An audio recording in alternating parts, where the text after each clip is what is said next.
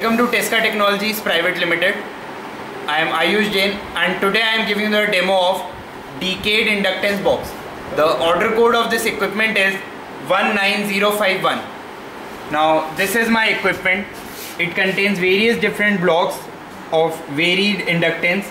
The first block has an inductance of 1 millihenry per step.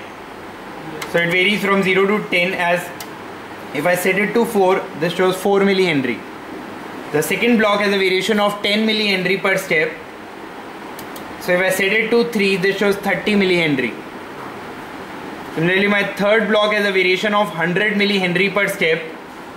So I can, if I set it to 6, this shows 600 millihenry.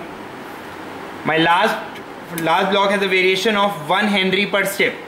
So it varies from 0 to 10 henry. If I set it to 2, this shows 2 henry. Now these two red ports are my two output terminals that is the two points of the inductance.